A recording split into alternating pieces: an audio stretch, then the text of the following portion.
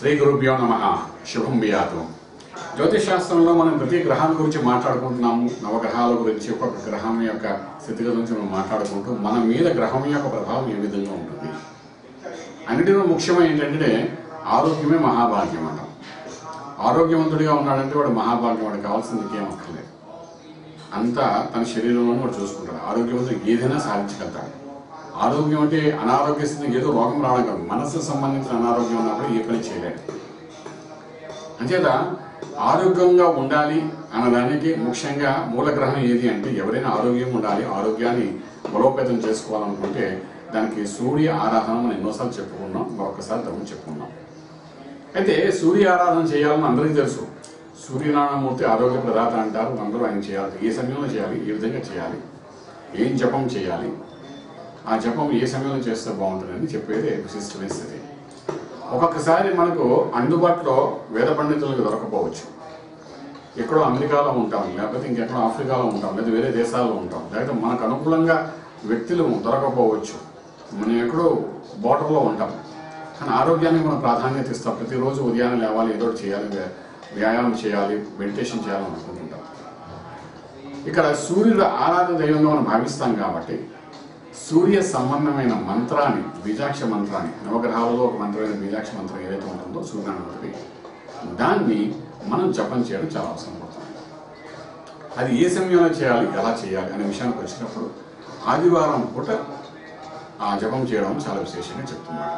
ఆదివారం పూట ఏ సమయంలో చేయాలి?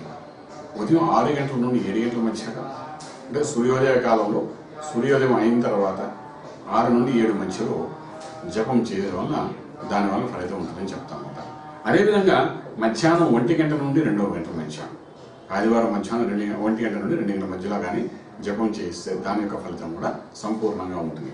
అదేవిధంగా రాత్రి ఎనిమిది గంటల నుండి తొమ్మిది గంటల మధ్య చేస్తే కూడా ఆ జప ఫలితం అనేది ఉంటుందని చెప్తాను అనమాట ఇంకొకసారి ఏంటంటే ఇంకొక మనకు అంటే ఇంకొక సమయం కూడా మనం మాట్లాడుకుంటున్నప్పుడు ఏంటంటే రాత్రి తెల్లవారుజామున మూడు గంటల నుండి నాలుగు గంటల మధ్యలో కానీ చేస్తే సత్ఫలితాలు ఇస్తుంది అని చెప్తాను అనమాట అంటే ఆదివారం ఉదయం మూడు గంటల నుండి నాలుగు గంటల మధ్యలో ఒకసారి తర్వాత ఆరు నుండి ఏడు సూర్యోదయ కాలం రెండవసారి మూడవది మధ్యాహ్న సమయంలో ఒంటి గంట నుండి రెండు గంటల మధ్యలో ఒకసారి తర్వాత సాయంకాలం ఎనిమిది గంటల నుండి తొమ్మిది గంటల మధ్యలో ఒకసారి.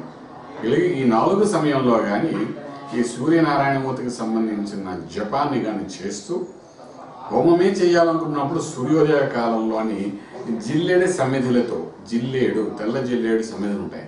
అలా జిల్లేడు యొక్క సమ్మెదలతో హోమం చేసినప్పుడు జపము హోమము చేయాలనుకున్నప్పుడు ఈ విధంగా చేసుకుని మీ వేద పండితుల ద్వారా తెలుసుకుని రెండు అమర్చుకుని చేసుకోగలిగితే మాత్రం ఆరోగ్య సమస్య అనేది పరిష్కారం అవుతుంది చెప్తాను మనం జపం చేసేటప్పుడు ఏంటంటే కెంపుల హారం అంటే ఇప్పుడు రత్నాలలో నవరత్నాలలో కెంపులను ఉంటాయి. వాటి హారాన్ని ఒకటి తయారు చేసుకుని నూట హారం ఒకటి తయారు చేసుకుని ఆ కెంపుల హారంతో చేత్తో తిప్పుతూ మంత్రజపం ఎప్పుడైతే చేస్తామో.